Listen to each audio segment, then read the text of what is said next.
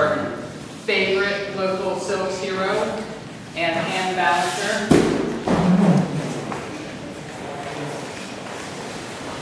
You are looking for nothing but the most insane skills, strength, and balance. you would be looking for Brittany Storm.